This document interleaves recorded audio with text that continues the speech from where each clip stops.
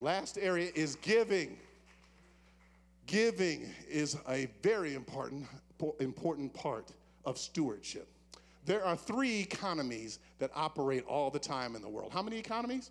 Three economies that operate in the world at all times. The first system is God's system. God's system is built on God giving and receiving. God gives, you receive. I will come back to that. The second system that works in the world is called the world system. The world system is built on borrowing and lending, right? I want to buy a home, you get a loan. I want a school, I get a loan. That's, that's the world system. The third economy is your personal economy. Do you guys know how the economy's doing? However good you're doing. If you got a job, what? The economy doing good. If you ain't got a job, what? Everything's going bad. Then what? You blame it on the president, right? So it's just like whatever happens, there's three economies. There's God's economy, the world's economy, and your personal economy. First of all, God's economy is built on giving and receiving. If you guys read the Bible, Psalms 24 and 1 clearly states this The earth is the Lord's and the fullness therein. That means that everything belongs to God. We're just stewards over it. That's why when we tithe, which means that the word tithe means tenth, that means we bring back a tenth, right? Now, some people, I don't know why, say, Do I do gross or net?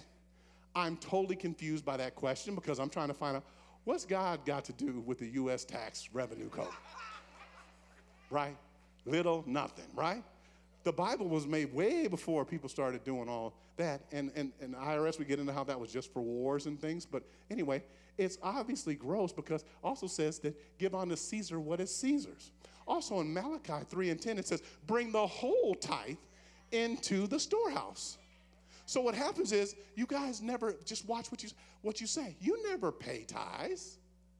See, God owns everything. So all you're doing is bringing it back. Does that make sense? Let me give you an example. And by the way, by the way, everybody don't, don't get don't get jealous. I'm gonna show you my car keys here. You know, I got you know I got an eight passenger Bentley, you know, made by Honda. Just gonna, you know, this keys to a minivan. Everybody don't get too don't get nervous.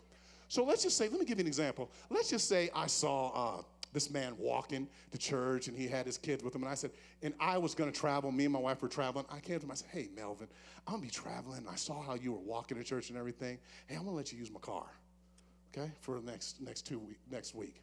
Then what would happen if next Sunday, Melvin ran down this aisle and said, Hey, everybody, I have to make an announcement. I'm going to give Pastor George Thompson a car. What would you all think? Okay, I hear, okay, that's funny. He's crazy. Okay, that's one. Second is, it's already my car. Thank you. You guys, that's what you do when you give. You're not giving God something new. He blessed you. No, no, no, no, no. Quiet is kept. No. I know you're talented. I know you're the best person on the job. I know your company can't work with you. But you know what? God gave you life in that abundantly. Let me just talk to you as an employee, and I'm to talk to you as a business owner. As an employee, you already know half you weren't qualified when you got the job. God just blessed you with the job. There's been jobs, jobs I've been like, what am I doing here? Look at all kinds of smart people.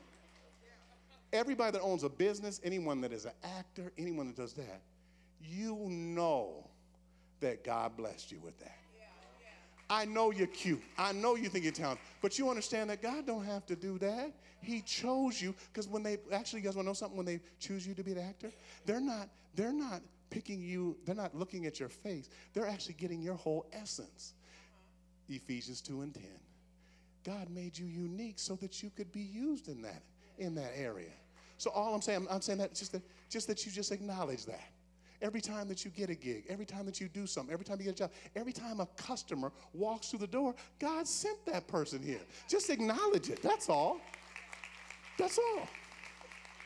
Because God has a plan, He has a purpose for your life in that area. Amen?